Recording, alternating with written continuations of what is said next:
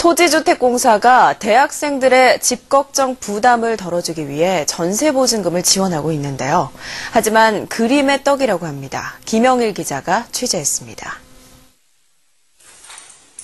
2년 전 이대일이 넘는 경쟁률을 뚫고 토지주택공사 전세보증금을 지원받은 대학생 권순일 씨.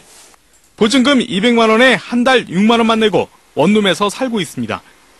비슷한 크기 방에 한 달 30만 원을 내는 친구들에 비해 부담이 5분의 1밖에 안 됩니다. LH에서 해주면 좋은 것 같아요. 돈이 적게 드니까.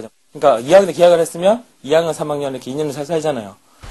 하지만 상당수 학생들은 지원 대상에 포함돼도 방구하기가 쉽질 않습니다. 집주인들이 월세를 선호하는 데다 주택 규모는 50제곱미터 이하, 부채 비율이 90% 이하인 임대주택만 지원이 가능하기 때문입니다.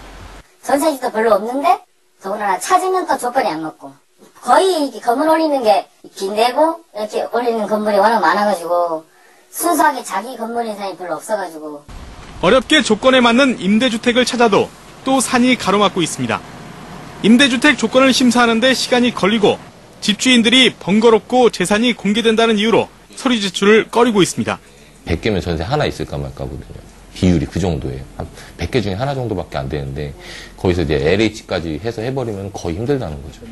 그렇죠. 복잡한 절차 때문에. 불만이 잇따르면서 토지주택공사도 부채 비율 조건을 완화하고 심사 기간을 단축했지만 근본적인 대책은 되지 못하고 있습니다. 본사회의라든가 이런 게 있게 되면 건의하고 하는데 정부에서도 그렇게 뾰족한 대책을 아직까지는 못 내놓고 있는 것 같더라고요. 대학생들의 주거비 부담을 줄이기 위한 사업인 만큼 보다 현실성 있는 보완 대책이 필요해 보입니다. MBC 뉴스 김영일입니다.